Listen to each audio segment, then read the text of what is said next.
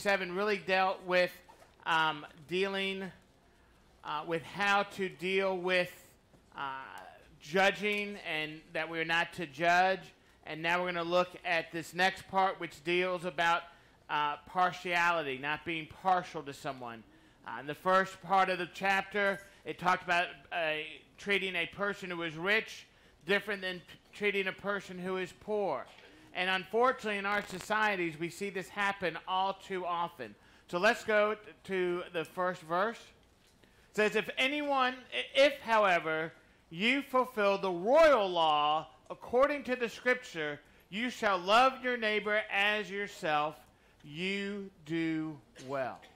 Now, why is this called the royal law? It's referring to Leviticus chapter 19, verse 18, where it says, You are not to take vengeance nor bear any grudge against the children of your people, but you shall love your neighbor as yourself. This is one of the most quoted scriptures.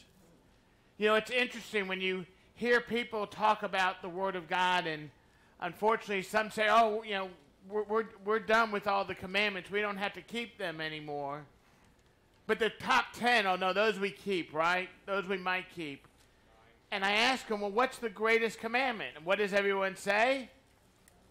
Love the Lord with all your heart, soul, and might, right? And love your neighbor as yourself. That is the second of all the greatest commandments.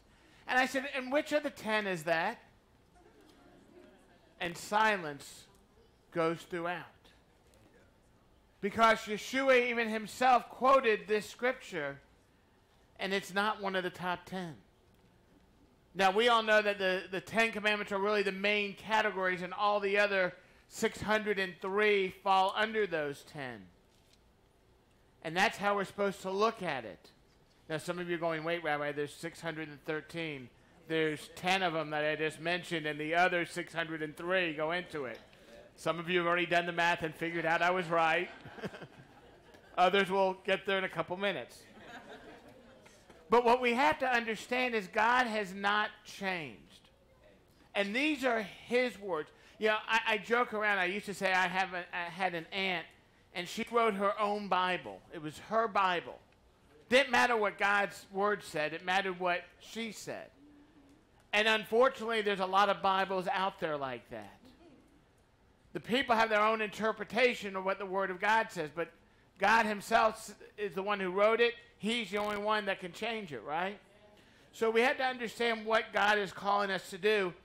And, and we have to be able to embrace this idea of God's love. The, it, it really encompasses the whole kingdom when we talk about this and we see that God Himself uh, is the reinforcer, uh, reinforcer through His Son and embraces and it embraces or encompasses all the other laws.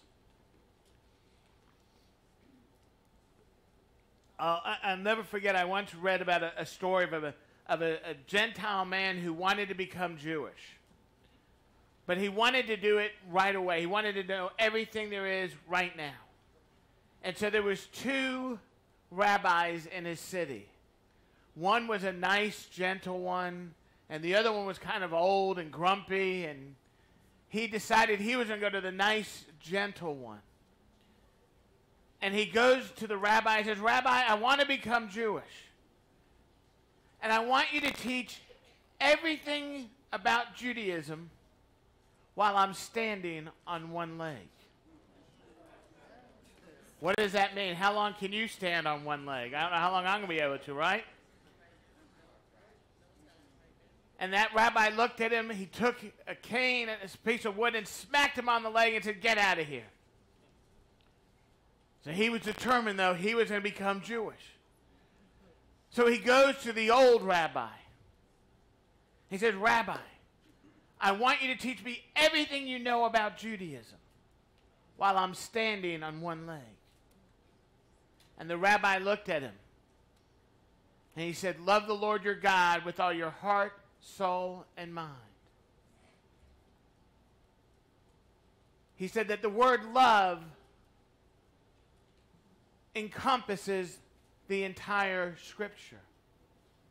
Now go and learn.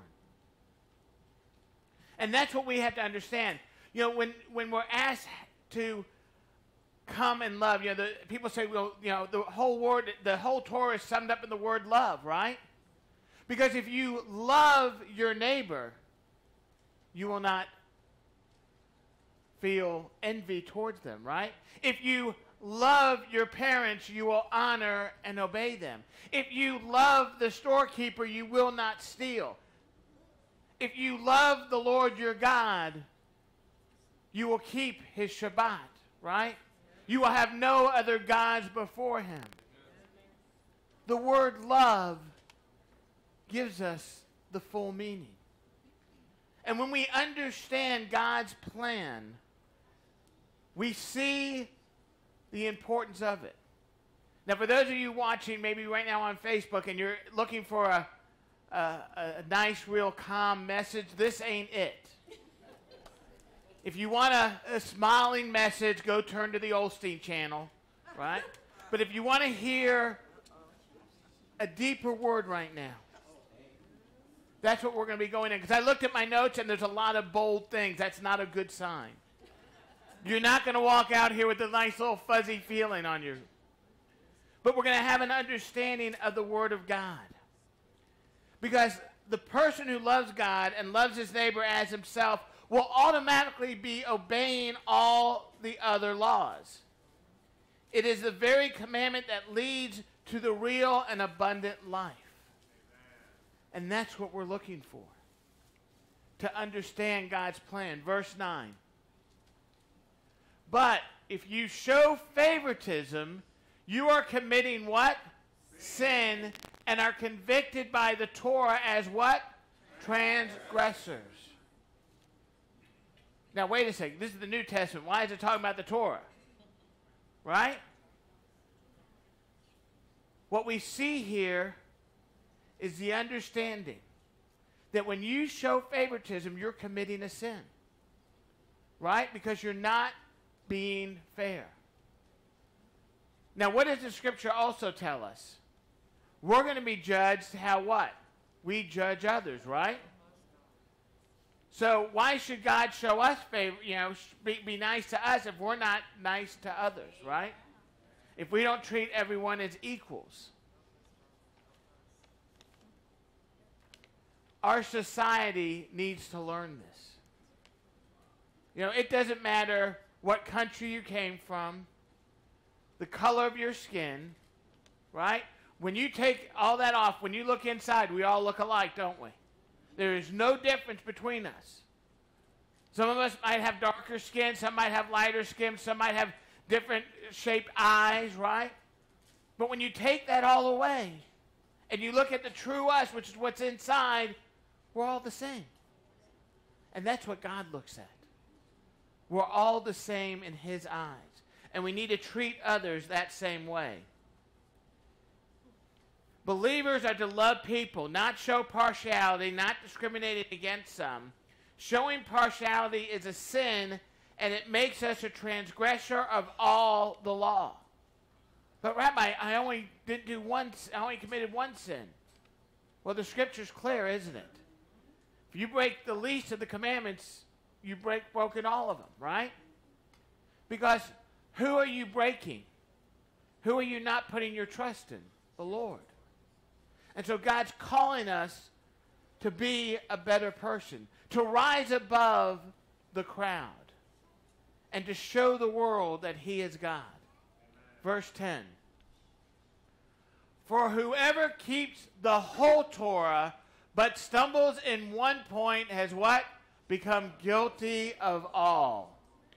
We need to understand this. How is it possible? How is it the fact that if I just tell a little lie, I've committed adultery, I've committed murder. Right? And what does the scripture tell us about that? We who follow God, or else we do not follow God. That's our choices. You either do or you don't. We're either going to commit our life to following God, or we're not going to follow God. And how do we follow Him? By reading His Word by obeying his commandments, right? Yeshua himself said, Do not think I have come to abolish the Torah of the prophets. I have not come to abolish, but really the word not fulfilled could really be translated to the word perfection. Because is he not the truest perfection? And how does Yeshua do it? Through love. That's how he perfects the Torah. And that's how we can too. We need to be willing to follow the Word of God. There is no such thing as subtracting the laws that one doesn't like and keeping the laws that, the, that others do, right? We've had people try to do that. I'm going to keep eight of the commandments. I don't like two of them, so they're no longer commandments, right? Is that how God works?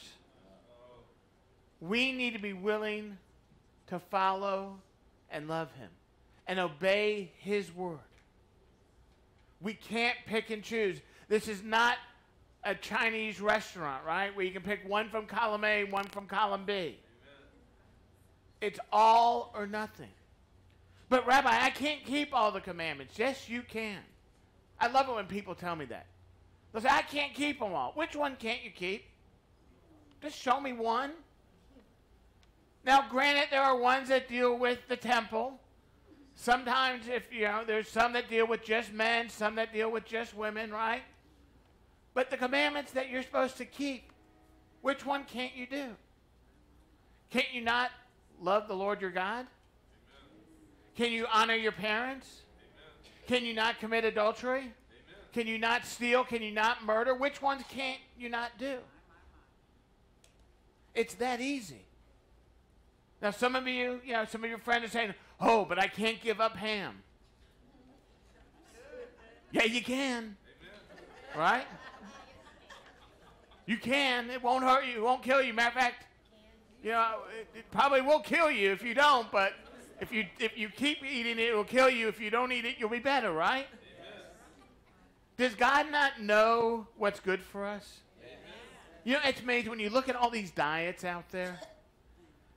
Most diets, if you look at most diets, they will tell you, nine out of ten tell you, stop eating pork.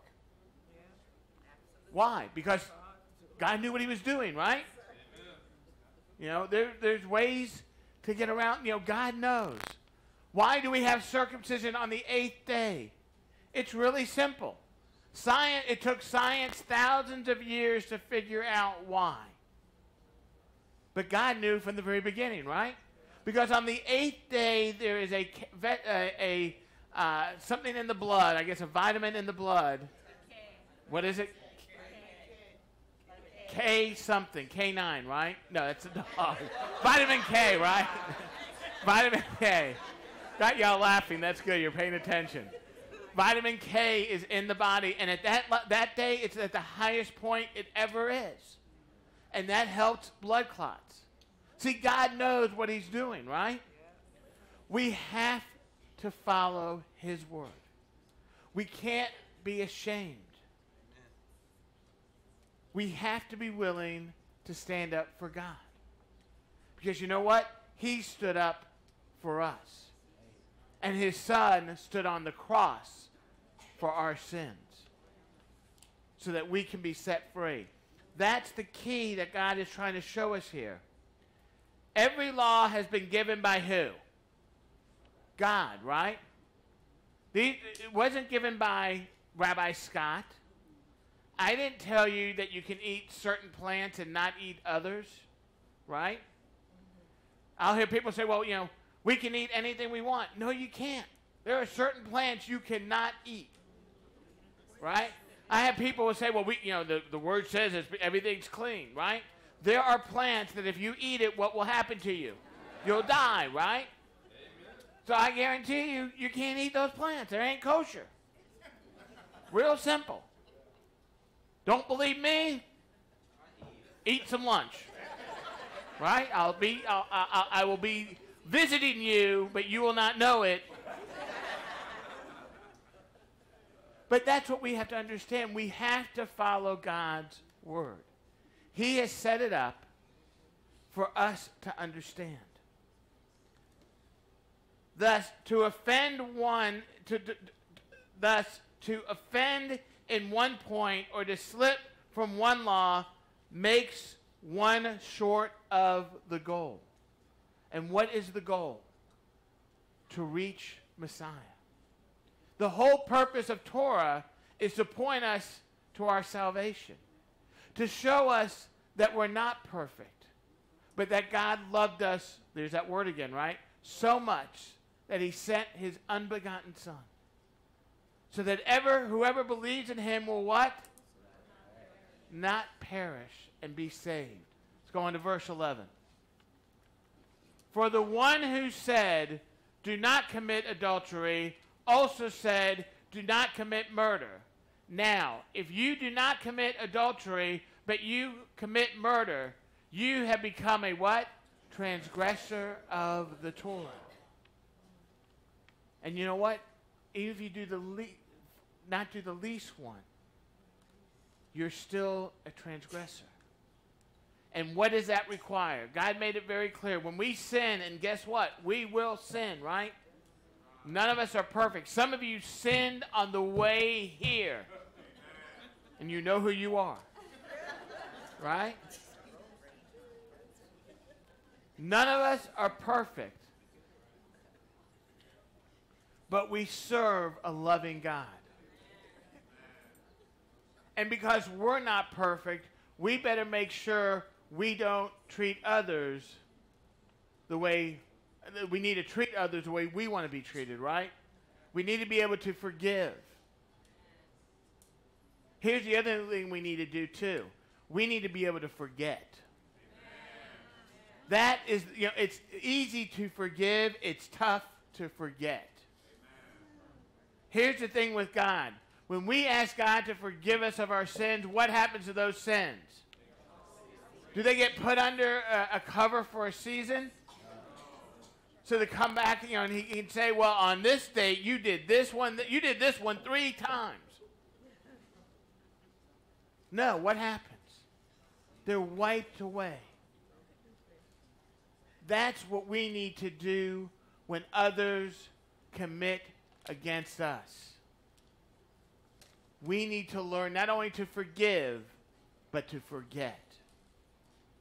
Because if not, we're going to judge. And that's going to put us in a bad situation. Again, you know, we cannot sidestep from the God's direction. One goes astray from the whole law of God, and one becomes guilty of the whole law. Although he only broke one law, he is still guilty. He is still a transgressor he is still broken God's law. Think about that. When we go against God's will, we're going against all of it, aren't we? When we're sitting there and telling God, I don't have to do this, then there's trouble. But we got grace, brother, right? We hear that one all the time. I hear, we got grace. That's great. We have grace. We need grace. Trust me. But that doesn't give you the right to sin, does it? Grace is there for when we mess up and we repent and do what? Turn back to God. That's what the word repent means. You have to do a 180. We talked about this last week. If you're sinning, you're going away from God. But when you turn back to God and you truly love Him, how do you show love to somebody? You obey, you honor them, right? You respect what they say. And that's what we see happening here. We need to obey God's word. We need to make sure that we can walk in His light. You know, I always joke around. I want to build an app because you hear in Judaism, they say, well, we, if you do good deeds, that's what's going to get you into heaven, right? So, someone don't steal my idea because I, I have lawyers on my side and I will get you, right? But I want to come up with an app. If you know how to do this, I want to, I want to have a, a good deed, bad deed app.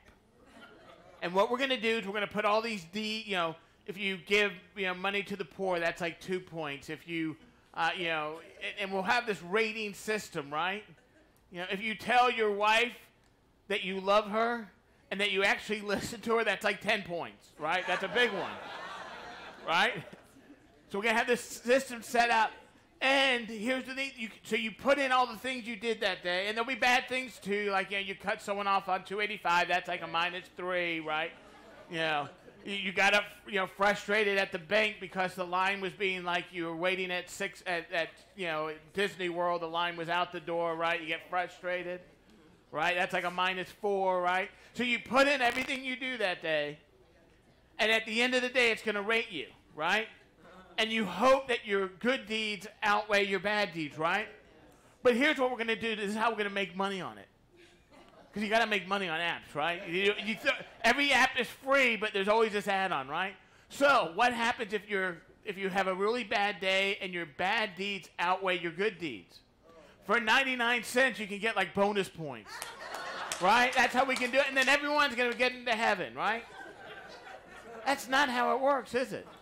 I can make a lot of money on that. But that's not how God works. That's not the purpose. Because all we have to do is obey Him. And then we're not going to want to do those things. Yeah, our flesh gets in the way. None of us are perfect. But that's why we have God. That's why we need God. And you know what? That's why we need His Word. And we don't just need half the book, we need the whole thing, right? Have you ever read half a book? No. Try it sometime. I, I, I, want you to do it two. I want you to do two books, right? One book, just read and make them a, like a mystery, right? So the first, both of them have to be a mystery of who done it, right? And I want you to read half of one book, right? And then I want you to go to another book and read the other half of it and who done it, right?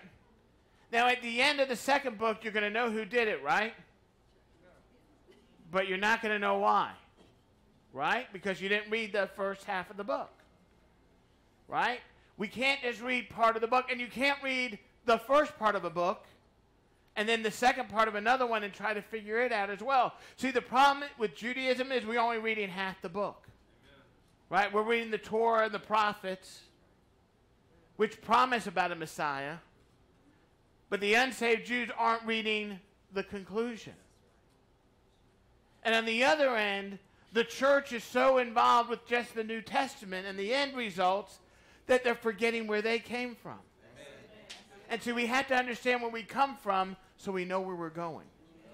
See, you can't under, you're not going to understand all the situations if you don't know the whole story. And that's why God gave us his word. That's why we need to look and follow and keep his commandments. And when we do that with love, guess what? Good things happen, don't they? You know, we cannot build up a merit system with God by keeping most of the laws and by and and be allowed to break the few uh, to break a few of the laws, right? We are not more acceptable to God because we kept most of the laws but only broke a few. Oh Lord, well, I get most of your laws, Lord. I just didn't like some of them. They were inconvenient. That's why most people break God's word, right? It's, Lord, but the lobster was on sale. right? They were giving out a free sandwich, right? Think about this too. What's the cheapest meat you can find? Pork and ham, right? So if you're going to invite someone over your house, don't you want to treat them like, hey, I really, if you're, if you're inviting me over to your house, right? I expect filet mignon, right? I expect the good stuff. And what happens? Bring out the pork. This is what I think about you. Boom.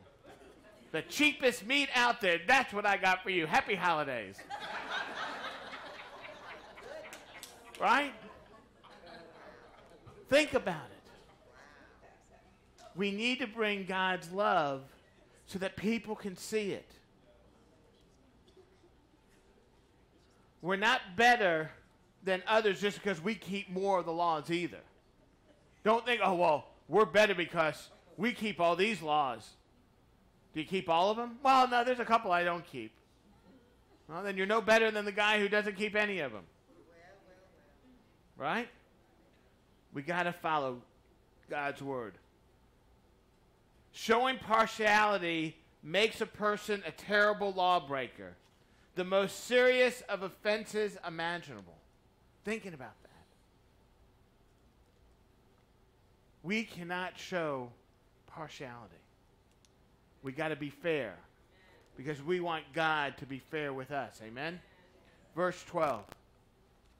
Good news is we're almost done. Right? There was a thing on Facebook the other day.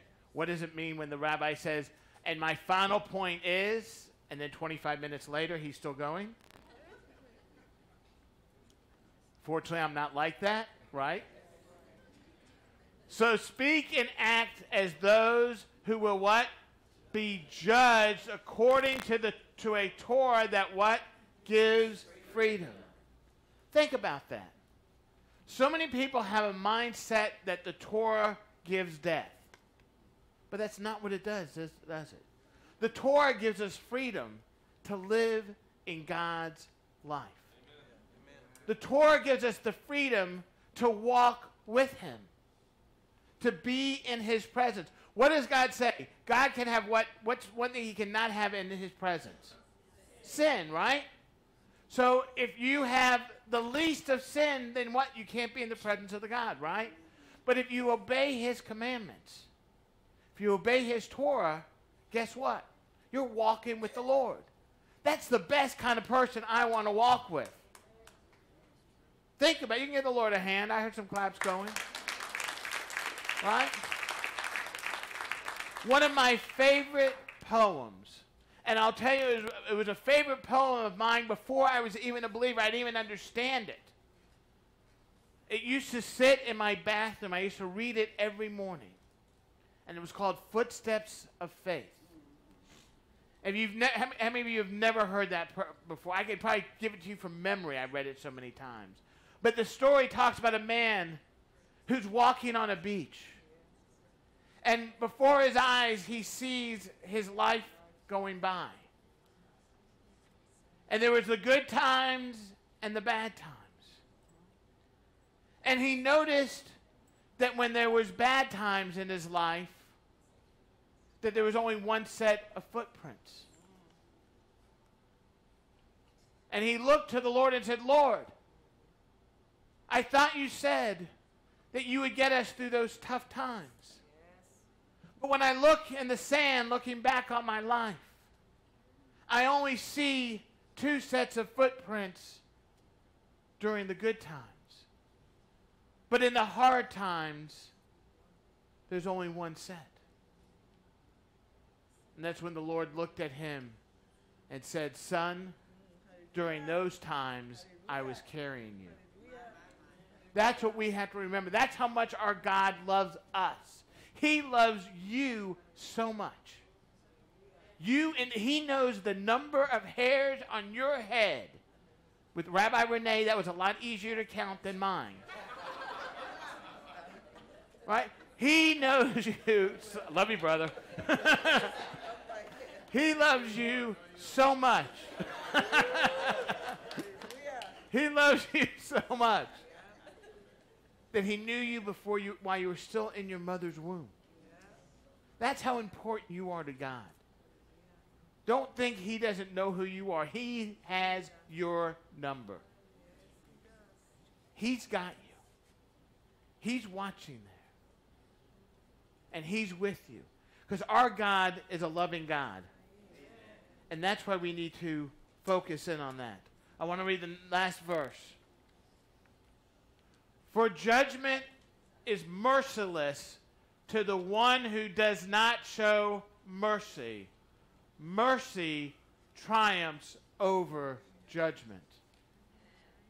There are two things that should stir us to love and care for all people showing no favoritism whatsoever. The first is that we shall face the judgment of God. How many of y'all are ready for that? If you were to meet your Maker right now, would you be happy? Would you be embarrassed? Would you be ashamed? Would you be able to go there and praise Him? And let him say to you, Welcome, good and faithful servant.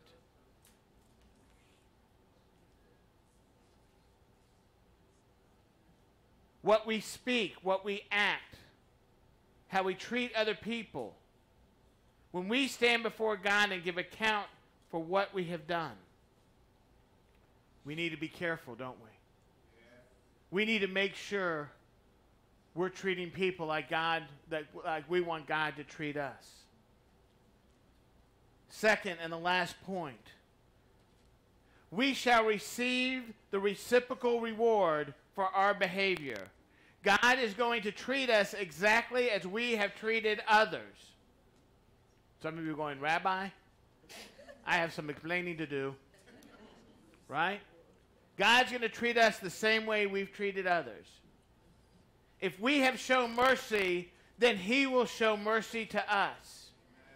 If we have not shown mercy, then He will not show mercy to us. We need to come, overcome the temptations and the trials that face us, and we must not show partiality. Because one day, we're going to be before our Maker. And we got to be able to look at him and say, Lord, I loved you and I followed your word. That's what he's calling us to do. We need to get involved. We need to get deeper into his word. It's not enough of what we talked about this last week. We can't just be a sayer of the word. We need to be a what? Doer.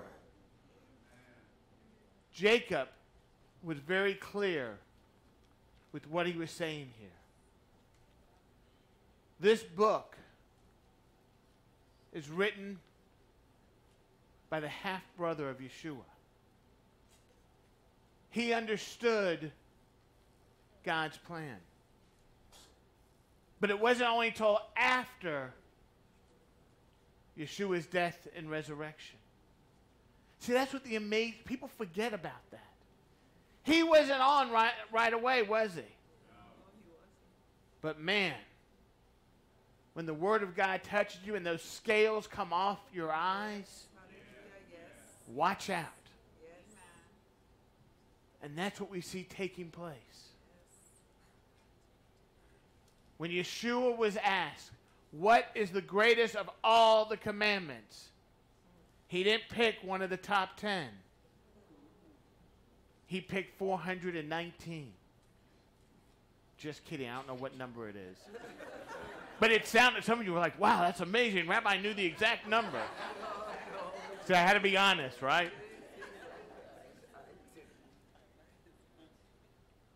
To love God with our heart, soul, and mind. And to love our neighbor as ourselves.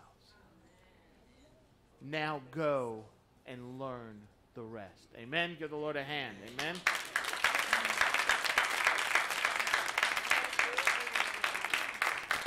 I want everyone to bow your head and close your eyes. Because it's not enough to just be a doer of the word. We need to have the word inside of us.